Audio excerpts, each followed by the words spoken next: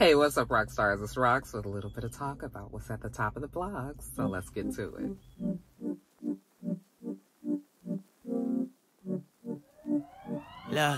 All right, y'all, the one bang is back. Here to get on some of y'all nerves. First story up, uh, divorces. Child, that seems to be on everybody's uh, mind these days. Either you getting a divorce, you got a divorce, y'all settling on child support, uh, spousal support. I mean, it's a whole lot going on. Let's start with the biggest story that dropped last week. Of course, right after I did top of the blogs, because that's how it always is. As soon as I post it, then here comes some salacious gossip uh, down the pike um, and of course, we always missed it on last week. So this dropped literally right after I put up top of the blogs. I feel like on Saturday or maybe even Friday morning, it was announced that Jeezy had filed for divorce. That's right, you guys. Young Jeezy, mama named him Jay Wayne Jenkins. All right, Jay Wayne Jenkins. Okay, which, uh, the studio is lovingly named after you guys know that this is Young Jeezy, the uh, the studio, uh, because it's the snowman. He's all white. But this time, yeah, sad story. Uh, Young Jeezy and Jeannie Mai, or Jeannie May, however you say her name. Y'all know I fuck up names uh, on the regular. These two have been married since March of 2021. Actually, everybody is calling this the pandemic marriage because we found out about the relationship it seems like right around the time that we was all on lockdown, maybe right before that. And then we saw that they were sharing their lockdown experience together. Okay. Um, and, uh, we would see him and her and the mother in videos and all and and it seemed that the mother loved Jeezy um and uh Jeannie seemed to love Jeezy and actually Jeezy seemed to love Jeannie. So it looked like it was a match made in heaven. They had a little baby a little baby girl um last year. That little girl's name is Monaco Mai Jenkins. They had her in January of 2022 so she's just a little over a year old now. And um I think we were all rooting for them you know, I didn't even really know Jeannie too much. I mean, I knew that she was on the real. Um, and, but other than that, I, you know, never really knew too much about her, didn't follow her, didn't follow Jeezy or anything. So their relationship came out of the blue. And then this damn divorce came out of the blue. Okay. And everybody had a lot to say on social media saying that, um, what I saw the most though was, um, women in particular rejoicing over the fact that they were breaking up because Jeannie Mai had said, um, amongst other things that were controversial or problematic. Um, the most memorable, though, is her saying that she prefers her meat white. It keeps her lean and mean. She said that dark meat is for the side. Okay. And, um, and she said that was the reason why she had married a white person.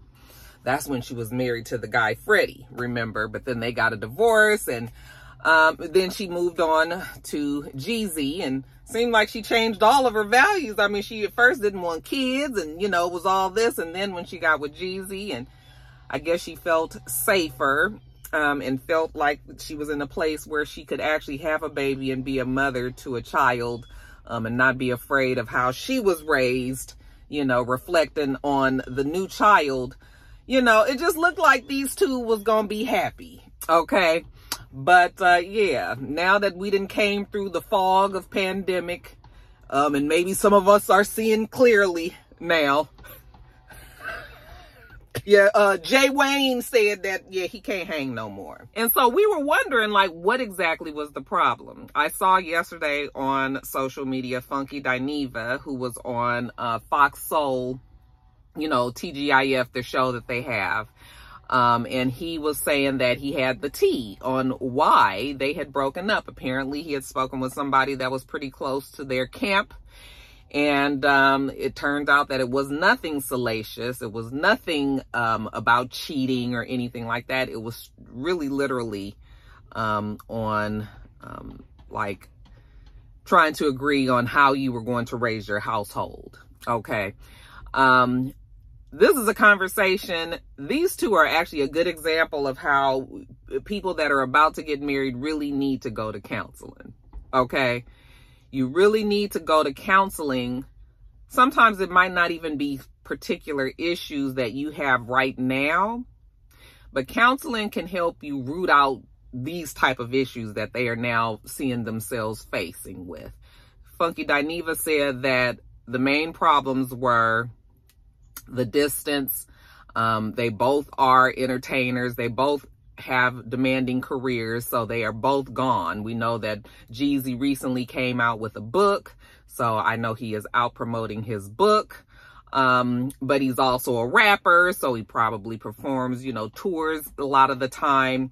Um, and then we know Jeannie is a host I guess she's on a show now. I see her every now and then with Mario Lopez. You know, people were trying to say that her and Mario Lopez was messing around. I don't know what that show is, what channel it is. I had no idea that that was going on. I don't know if that's a every week thing, every day, whatever. But she also works. Um, and so that was part of the strain. The other part is that Jeannie likes to live her life um, um, out loud and in public which means that she likes to be on social media a lot and she posts a lot of her private life. Um, they're saying that Jeezy is a private person and does not like to um, showcase his private life on social media. I guess it was cute at first when they were first starting to date, but now we on real, real life. Like we together now, you know, honeymoon stage is over, you know, it's only supposed to be that first year, whatever. We getting down to business now. And excuse me. And now my real life, I don't want it to be out there just all the time. So like if they have a private party, some friends over, Jeannie is pulling out the phone, putting it on social media, and that's just not what Jeezy does. Also, apparently the mother has moved in with them and the brother. Um, and well, I mean, you already know. We we ain't really trying to live with the mother-in-law, and I mean, it's not like the mother is sickly or anything like that, and um, the mother has had some problematic ways in the past too, you know. So I don't know if maybe the mother-in-law has rubbed Jeezy some, you know, the wrong way not necessarily even on purpose. It could be some cultural differences there, you guys. I mean, this is a very big difference. She's Vietnamese. Jeezy is black. Not saying that Vietnamese and black can't get together and be together, but you know, there are definitely going to be some cultural things that you have to overcome. Okay. Um, so that also, I don't know if the family moving in, that might be, have some cultural, um, um, attachments to it. I know that some cultures are more prone or open to having like all of the family in the house. You know, it just sort of depends. Not saying that that's bad. And then other things like she likes to walk the kid to school, Funky said, and and and, and Jeezy says that that's a security issue. You know, she feels like she wants to live her life as guess maybe as normal as she can, and Jeezy is trying to remind her that they are celebrities I don't even have to say that Jeezy, you know, was um, uh, uh, uh, part of them streets for a long time. He may have some enemies out there.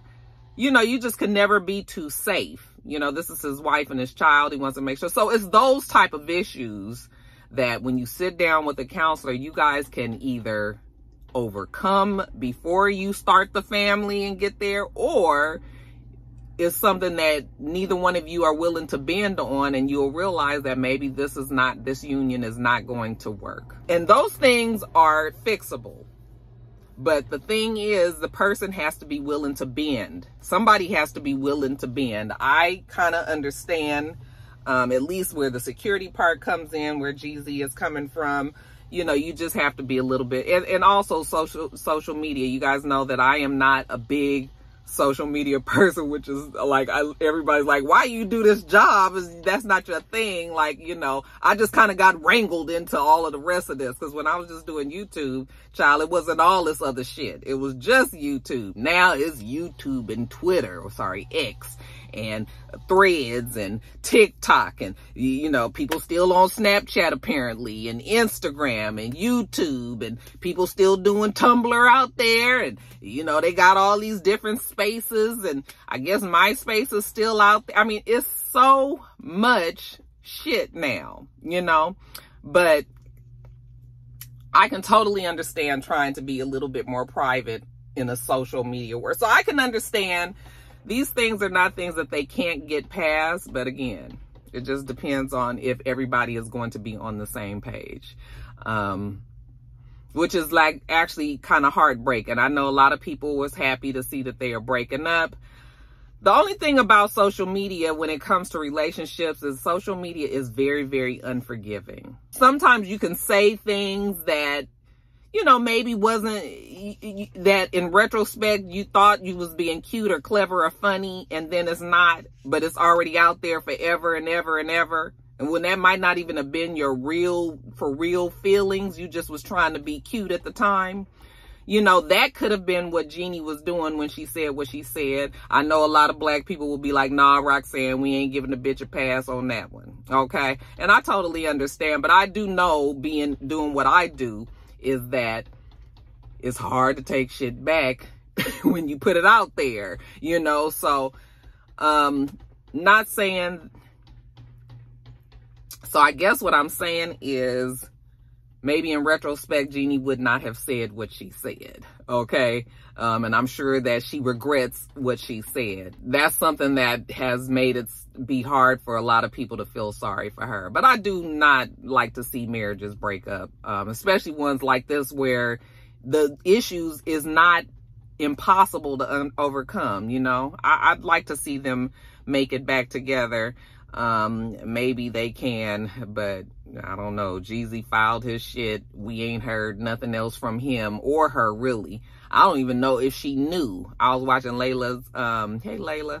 I was watching Layla's video the, um, yesterday and she was like, that shit looked like it came out the blue on old Jeannie because she was just promoting his book and saying, you know, my love and we're so proud of you and all of this. So it feels like, dang, y'all just couldn't work that shit out, you know? So anyway, that is what's going on with them there.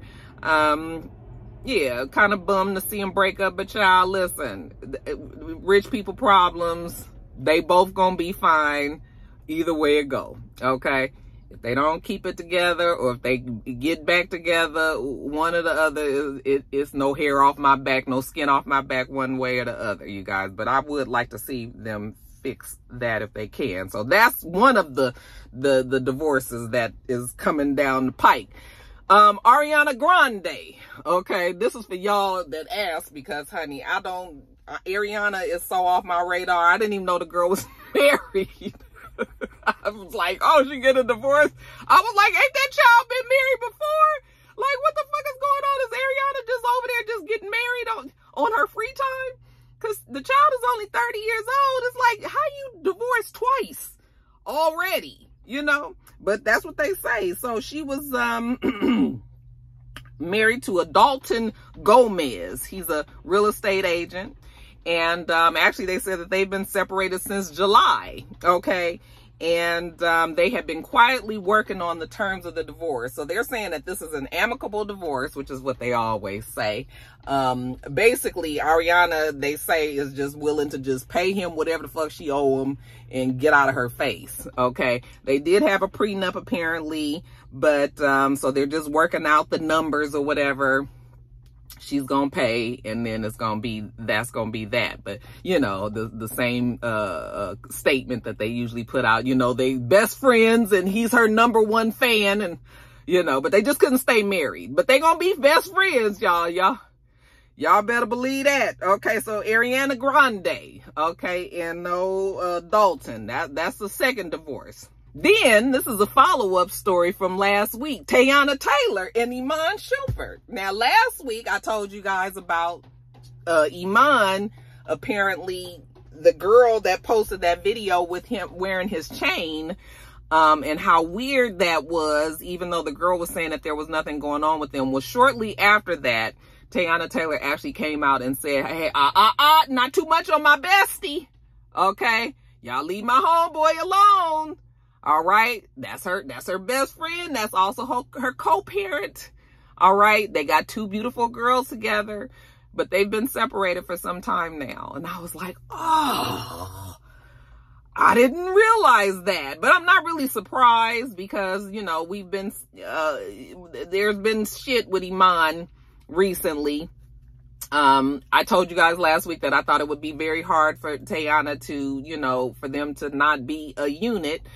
Um, but hey, Teyana was like, bitch, a bitch is strong and I don't need a nigga for nothing. I can get a divorce. I can, but they ain't talking about divorce. It's just a separation.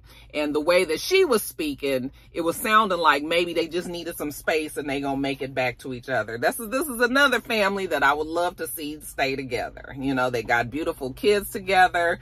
Um, and, and, and I'm sure, you know, it's difficult. You've been married to a basketball star. He's retired now. You know, everybody trying to get, you know, they footing on this new, uh, this new place in his life. Yeah, those two um, are separated. Now, I'm not talking divorce yet, but you know, we'll see what happens there. I mean, he's going to be a pretty hot ticket. Okay, and actually Teyana too. Teyana is going to be a hot ticket too. They're saying that these two haven't really been seeing eye to eye ever since whatever that incident was with Chris Brown and Usher and her at the skate party that they had for Chris Brown's birthday party some whatever happened at that thing that everybody has been fucking mums the word about, okay? Ever since then, Teyana and Iman, they say, haven't really been seen together, haven't been around, haven't been posting each other or anything. So I don't know if that has anything to do with it. It could be completely just nothing to do with it, but I thought I'd throw that out there because that's what them screets are saying. Um, so yeah, that's another um, separation, possible divorce coming down the way. Um, another divorce that's on its way down is um, Danny Masterson's wife, Bijou Phillips Masterson. Okay. Now remember last week I told y'all about Danny Masterson, put that ass in jail 30 years. Okay. Won't be eligible for parole until 25 and a half years. Okay. And considering he is 40, what is he 47 i think he's 47 years old so y'all get let, let me get my calculator because i mean i could do that in my head but it's so much more fun on the calculator right okay so if we say 27 27 time nope 27 nope 47 plus 25.5 Mm-mm. 47 times, nope. 47 plus 25.5 equals 72.5. He'll be 72 and a half years old, 72 and a half years old before he is eligible for parole. Okay. And, um, I know, like you know, that, um, uh, Bijou as much as she may love her husband because they said that she's been quite uh, supportive the whole time that they were in court you know even cried when they read the verdict. She might have just been crying about just how this whole story is just sad and how uh, love has been lost and that you know her man that she's put so much trust and faith in is out there raping women. Um uh, three of them you know uh, that's something that a wife don't really want to hear about their husband you know so she she might just be just sad like this whole thing is just fucked up. And that might be why she was crying you know but yet and still the man gone to jail a week a little bit over a week later uh bijou put the papers in. Irreconcilable differences wants full custody of the child also wants spousal support. I believe she will get both okay? And she wants her name to go back to just bijou phillips drop that masterson shit. And so that's another uh, divorce coming on down the way. Um, then we got Hugh Jackman. Y'all didn't know I was about to throw uh, throw the Wolverine up in this mug, did you? That's right, y'all. Hugh Jack Jackman and his wife, um, uh, uh, Deb Deborra-Lee Furness. I think it's Deborah Lee Furness. Um, Hugh Jackman is 54. His wife is 67. I didn't realize that there was a, um, a, a age difference in the two of them. I know that Hugh Jackman just all of a sudden looked like an old man. I was just like, I mean, he's still a good looking man, But I didn't realize that he was only 54. I was like, this motherfucker looked like he, you know, he looked like he could have been in his late 50s, early 60s himself. You know, I don't know, I don't know if uh, old Deborah been putting him through some shit. Y'all, them Deborahs, they definitely can put you through some shit. Y'all know one of my best friends is Deborah. Bless her heart.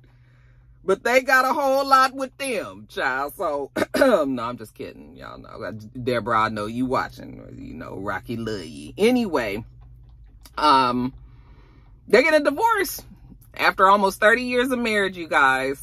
This is kind of one of them situations where the kids finally grew up they probably been just waiting until they their youngest kid got to be 18 years old off to college and then was just like what the fuck is we together for? Like we don't even really like each other like that like that.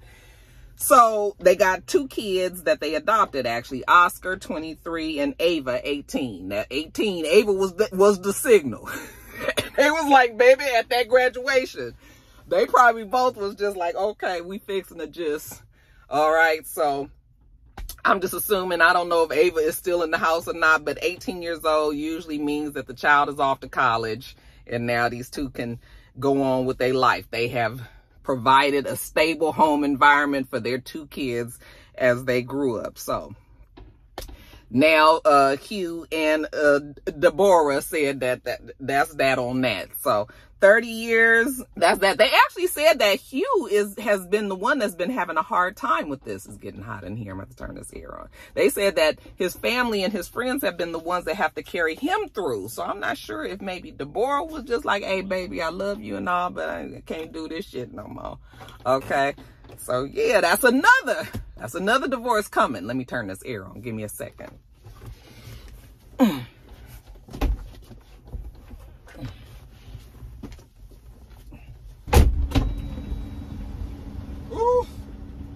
It's just hot. Oh my God, it's hot.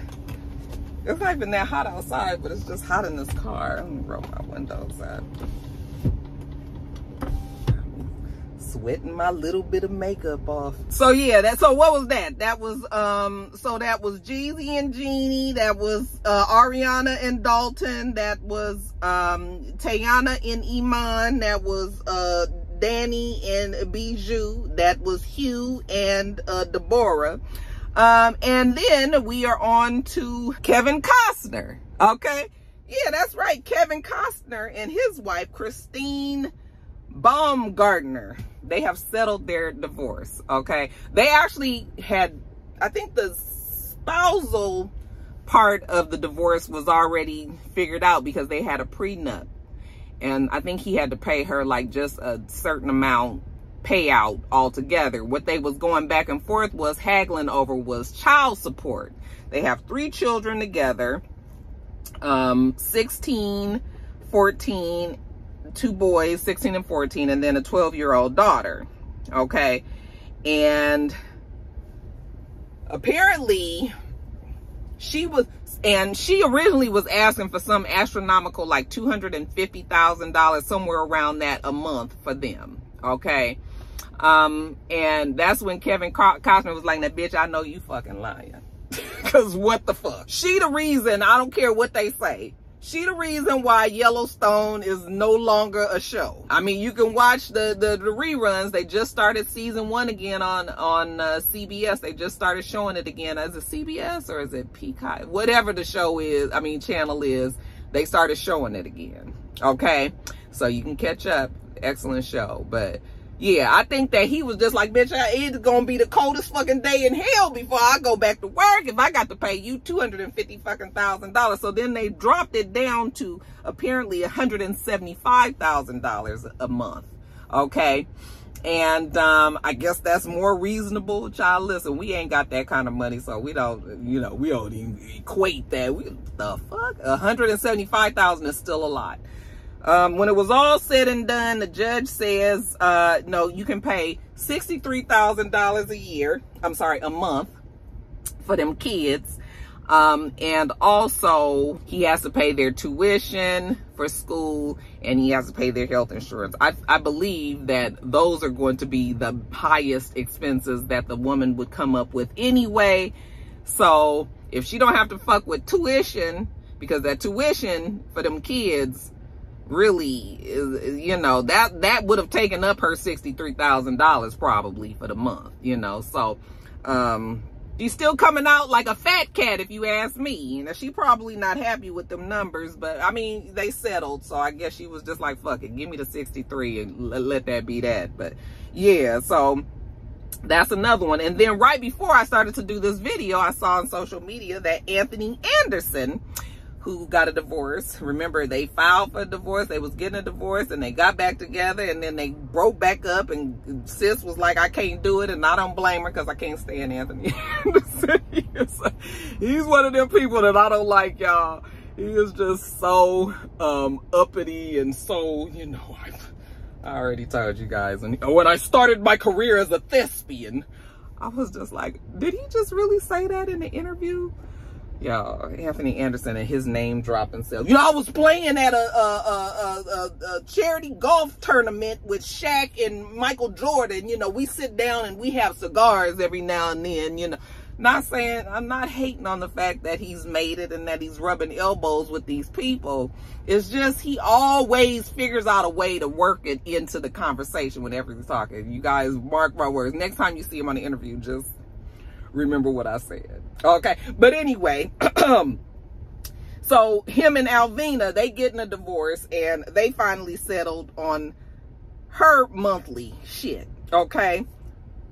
She's he's been ordered to pay her twenty thousand dollars a month. I don't know if they have young kids. I believe they do have children together. I don't know how old the children are. They didn't mention anything, so the kids probably are old now but um or you know grown i should say. But uh yeah that's what she gets 20000 a month and then if his income goes over two million dollars for that year then she gets 20 percent of whatever the income raise is and all of that. So yeah. So all them people i just told y'all about child i mean that that'll give you no faith in the union of, of uh in the sanctity of marriage does it? But i promise you guys that marriage is still a good thing. It's just work and people used to always get on me and be like, Roxanne, you make marriage sound so horrible and all that. And I was just like, I've never said that it was horrible. It can be, okay? But it's not, nothing is that all the time, right? So, yeah, shit sometimes can be fucked up. Sometimes things can be great. Like right now, I'm in that real great space. You know, I really like Mr. Uh, you know, a lot.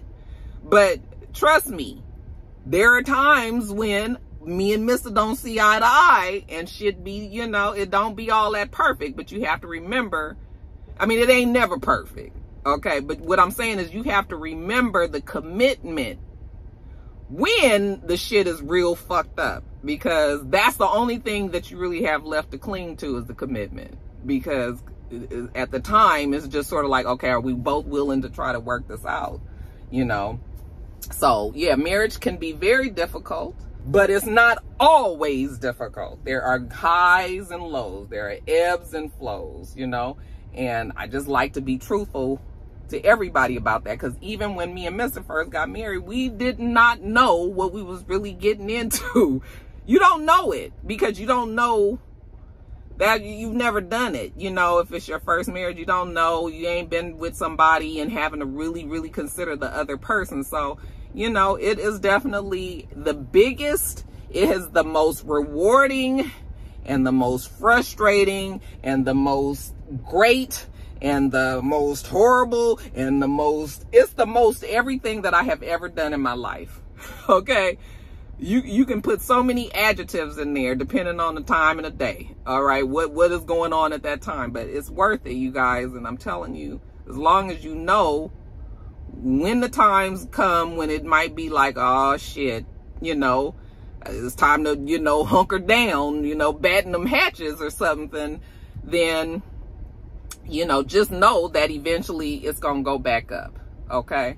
But then know it, it might go back down again. It's just, that's just part of the ride, y'all. Anyway, I'm, I don't like to be preachy and I don't like to, con, you know, because I just want you guys to understand that, even though I've told you all about all those divorces. That makes me sad, you guys. But maybe some of them will work it out. Some other ones I think is a wrap on that. Y'all let me know what you think about all that though. Next story. We don't tread softly, uh, but not flossy, uh. The streets that taught me, uh, but we're too bossy. Next uh. story up, you guys, is actually a pretty sad story. Irish Grinstead from the um, R&B girl group 702.